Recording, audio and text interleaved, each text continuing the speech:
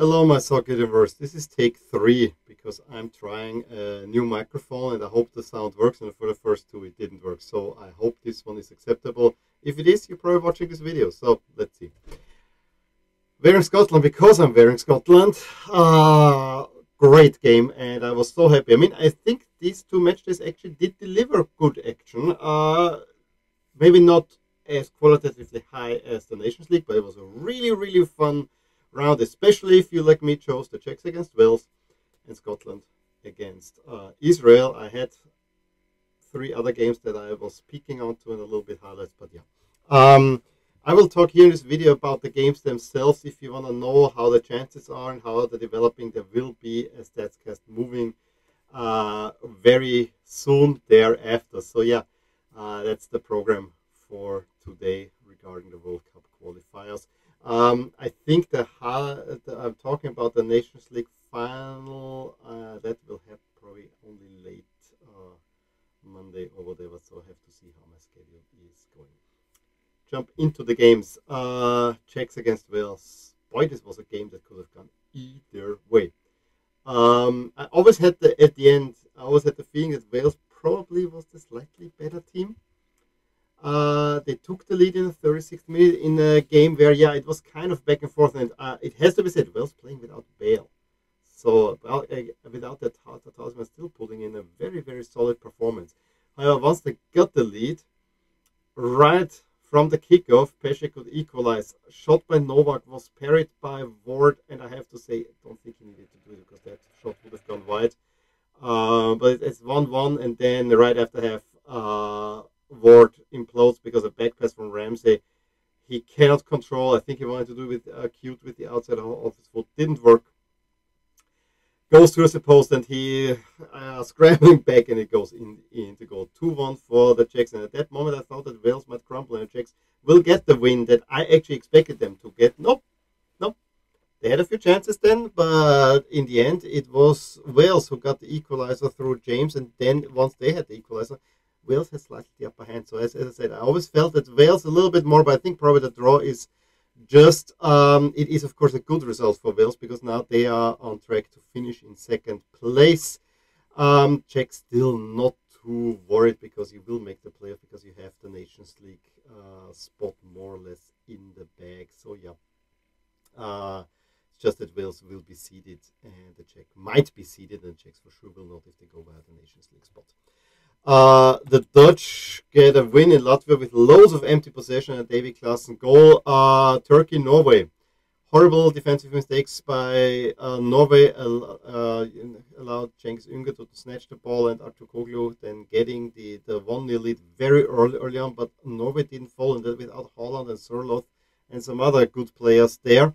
Uh, Thorstvedt gives them the equalizer. And then second half, it was more Norway. So Turkey really in big trouble under new coach Stefan Kuntz. Uh, in Group H, didn't see any of these, but Croatia still on track, winning uh, against Cyprus. Uh, Russia also on track. It will come down to those two. With that win of Russia over Slovakia, Slovenia with a win over Malta can actually go ahead of Slovakia, but those two, the Slovenians and Slovakias, are out. It's Croatia, Russia, for and there will be a head-to-head. Germany scoring early, however, it's taken off by VAR. Lengthy review, and after this started, um, the confusion is used by Ianis Hagi to give Romania a shock lead in Hamburg. Germany, uh, not super convincing, however, having many chances, wasting many chances. Uh, it took in the second half, I think it was then um, Gnabry who gets the goal. Uh, then Müller and others come on and Müller actually gets the winner after I think it was a Kimmich corner uh, header by Goretzka and uh, Müller. Then it was a Bayern production, giving Germany a deserved win. Yesterday in the evening, a Swiss win, shock loss for Bulgaria to Lithuania. The Swiss win uh, over Northern Ireland. Referee, referee. Jamal Lewis is sent off with two yellow cards, whereas the second one in the 37th minute for time wasting. I don't know. This is some really, really dodgy refereeing. I got, I gotta say, Switzerland having many chances, but it's two stoppage time goals. Goals one of the first one, second have Zuber and Fassnacht to give them the win, and it really points all towards the game between Italy and Switzerland, where probably yeah, with latest results, I think uh, Italy is fine with, with a draw, but that will be the big decider, and uh, Italy probably will have to dig deep there as well. Another big one was Finland and Ukraine, where Ukraine finally get a win. Ukraine can win. Just let this sink in. They had only draws so far. Uh, some credible, France, some not so much. So, uh, like Kazakhstan.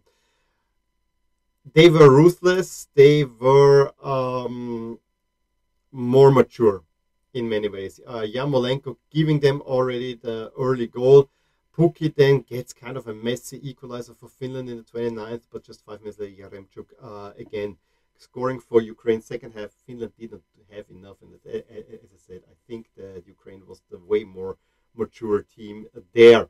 Uh, Serbia get a big win at Luxembourg, which basically eliminates all the other teams, even though Ireland uh, wins over Azerbaijan. It's between Serbia and Portugal, meeting in Portugal that will decide the fate.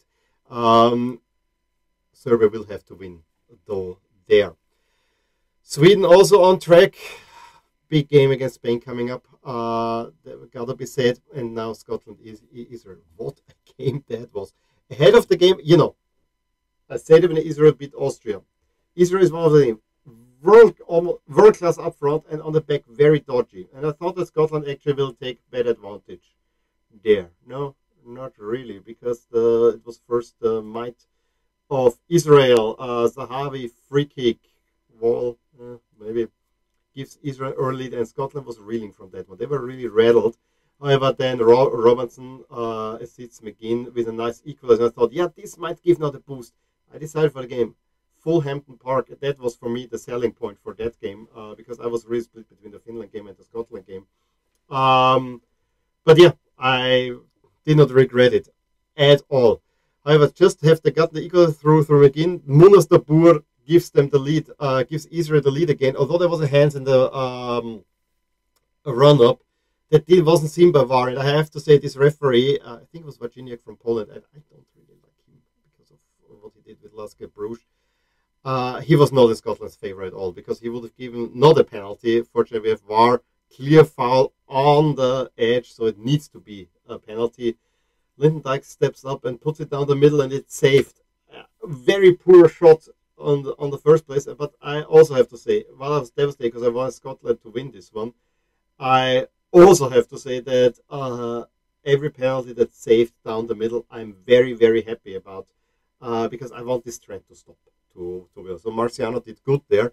Uh, Scotland came out fighting in the second half. Lyndon Dykes gets an equalizer. Was also taken off because of a alleged high boot. However, I fortunately look at the VAR because not only was Lyndon Dykes' boots not that high, it's also the defender was very very low and he gets first to the ball. So I think it was the right call to have this goal stand. Uh, then the game kind of fizzled out a little bit, and I thought, yeah, this will end in a draw that will help neither. Maybe keeping Austria in play for the second spot. And then very, very little Scott McTominay gets the winner for Scotland in the 94th minute. Uh, and I actually, was happy because I don't want Austria, I want Foda to be gone. Austria gets a very nondescript win uh, against the Faroe Islands with a trip of Denmark looming. Denmark still not having conceded a goal in qualifying tells you everything.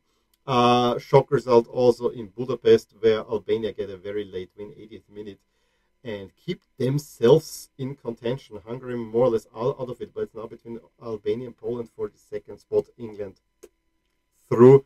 Um, that will, will be interesting, but Albania will need to, to, win against Poland because Poland already played their games against England, whereas Albania still will have to play England. So, uh, just saying that. So that was it from me. As I said, uh, with more numbers, the stats StatsCast will be coming. Uh, give me a thumbs up, enjoyed this video, subscribe to my channel if you want to see more videos like these, and I will talk to you soon. Bye. Hey, just in case you enjoyed this video, here are some videos and playlists that you actually might enjoy too. Also, please consider following me on social media and actually subscribe to my channel so that you stay updated with everything that happens in my soccer universe. And with that, have a wonderful day. Bye.